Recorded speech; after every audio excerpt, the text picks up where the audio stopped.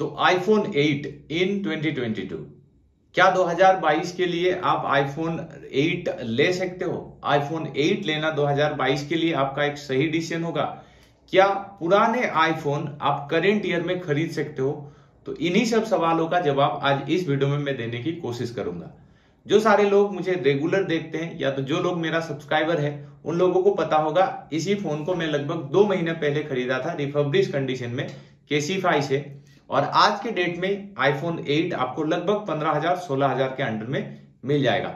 चाहे आप Flipkart to good से भी खरीद सकते हैं या तो केसीफाई से खरीद सकते हैं, आप लोकल मार्केट से भी इसको लगभग पंद्रह हज़ार में परचेज कर सकते हैं।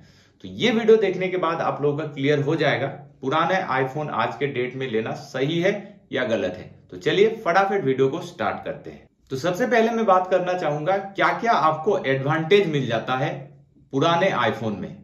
हालाँकि ये आईफोन 8 है, पाँच साल पुराना फ़ोन है, लेकिन फिर भी इसमें आपको लेटेस्ट ओएस देखने को मिलेगा। इसमें फ़िलहाल रन कर रहा है iOS 15.2 तो एकदम अपडेटेड आपको यहाँ पे सॉफ्टवेयर मिलेगा। हालाँकि इसमें आपको जो चिप है, वो काफ़ी पुराना चिप है, लेकिन आज के डेट में भी इसका परफॉर्मेंस जो है, वो काफ़ी आपको तगड़ा देखने को मिलेगा। एक सिंगल वीडियो में मैंने यहाँ पे कवर किया था आईफोन 12 और आईफोन 8 में स्पीड में आपको कितना ज़्यादा डिफरेंस पता चलता है तो वो वाला वीडियो आप लोग आई बटन पे देख सकते हो, उससे आपको क्लियरली आइडिया लग जाएगा। परफॉर्मेंस में आपको उतना ज़्यादा डिफरेंस यहाँ पे फील नहीं होता है। चाहे आप आईफोन 13 खरीद रहे हो आईफोन 12 खरीद रहे हो, या तो आईफोन 11 खरीद रहे हो आईफोन 8 का भी जो परफॉर्मेंस है, वो काफ़ी तगड़ा आपको आज के डेट में भी मिल जाता है। नेक्स्ट यहाँ पे मैं बात करना चाहूँगा, इसका ओवरऑल बिल्ड क्वालिटी पाँच साल पुराना है, लेकिन आज के डेट में भी ये जो भी मटेरियल से बनाया गया है, चाहे इसका फ्रेम की हम लोग बात करें, पीछे का यहाँ पे बैक की बात कर ले फ्रंट का यहाँ पे डिस्प्ले की बात कर ले, आज के डेट में भी अगर आप फ़ोन पॉकेट से निकालोगे तो किसी भी एंगल से आपका ये फ़ोन पाँच साल पुराना नहीं लगता है। ओवरऑल इसका जो बिल्ड है और डिज़ाइन है, वो काफ़ी ज़्यादा मॉडर्न है। आज के डेट में भी अगर आप हाथ में पकड़ोगे तो आपको एज ए फ्लैगशिप की तरह फील होगा। यहाँ पे आपको लगेगा ही नहीं, ये पाँच साल पुराना है। लेकिन एंड्रॉयड के साथ एक्सपीरियंस थोड़ा सा अलग है। अगर एंड्रॉयड में दो तीन साल पुराना फ़ोन को आप अगर आप हाथ में पकड़ोगे तो आपको कहीं ना कहीं फील हो जाता है कि ये बहुत ज़्यादा पुराना फ़ोन है और उसमें काफ़ी ज़्यादा आपको स्क्रैचेस नज़र आ जाता है, काफ़ी ज़्यादा उसमें आपको तरह तरह के दिक्कत होता है। लेकिन यहाँ पे आईओएस के केस में ऐसा नहीं है। आईओएस में रेगुलर अपडेट के साथ फ़ोन काफ़ी बेहतरीन चल जाता है।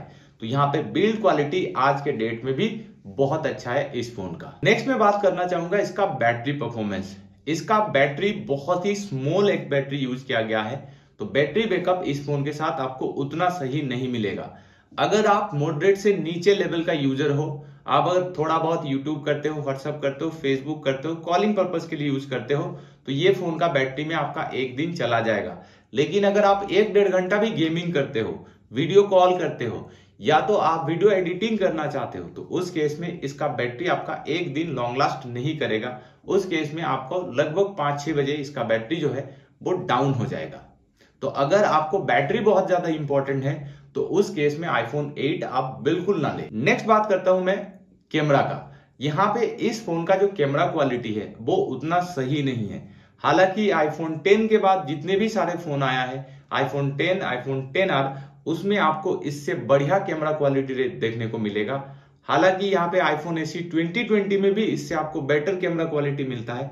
इसका कैमरा क्वालिटी आपको उतना खास देखने को नहीं मिलता है। तो ये चीज़ आप लोग नोट कर लेना। अब हम लोग आ जाते हैं हमारे फाइनल कंक्लूजन के ऊपर। क्या आप आईफोन 8 को 2022 में खरीद सकते हो? अब ये डिपेंड करता है आपके ऊपर आपको किस तरह का फ़ोन चाहिए? अगर आपको सॉफ्टवेयर का एकदम बेहतरीन एक्सपीरियंस चाहिए डिज़ाइन का एकदम बेहतरीन एक्सपीरियंस चाहिए ओवरऑल आपको आईओएस एक्सपीरियंस करना है, उस केस में इस डिवाइस को आप परचेज कर सकते हो। लेकिन यहाँ पे अगर आपका बैटरी और कैमरा प्रायोरिटी है, साथ ही साथ इसका डिज़ाइन आप फ्रंट से देख लो फ्रंट से आपको डिज़ाइन उतना ज़्यादा पसंद नहीं आएगा, क्योंकि ये जो ट्रेंड है, वो 2018-19 का ट्रेंड है यहाँ पे आपको बहुत बड़े बड़े चिन्ह मिल जाता है, लेकिन पीछे से फ़ोन काफ़ी ज़्यादा लग्जरी आपको लगता है। तो आशा करता हूँ आपका डाउट यहाँ पे क्लियर हुआ है। अगर आप पुराने आईफोन लेने का सोच रहे हैं तो आप ले सकते हो। बेझिझक आप कैमरा और बैटरी आपको उतना ज़्यादा इंप्रूवमेंट देखने को नहीं मिलेगा। बाकी यहाँ पे सारे चीज़, अगर आप मल्टीटास्किंग की बात करते हो, अगर आप प्रोसेसिंग पावर की बात करते हो डिज़ाइन बिल्ड क्वालिटी की बात करते हो तो आज के डेट में भी आप दो तीन साल पुराना आईफोन को डेफिनेटली परचेज कर सकते हो, कोई इशू नहीं है। तो ये था कंप्लीट वीडियो आशा करता हूँ आप लोगों को ये हेल्प हुआ है। बाकी अगर चैनल में आप लोग नए हो तो चैनल को सब्सक्राइब करें। ऐसे मोटिवेट करते रहे। हम मिलेंगे आपसे नेक्स्ट वीडियो में। तब तक के लिए टेक केयर बाय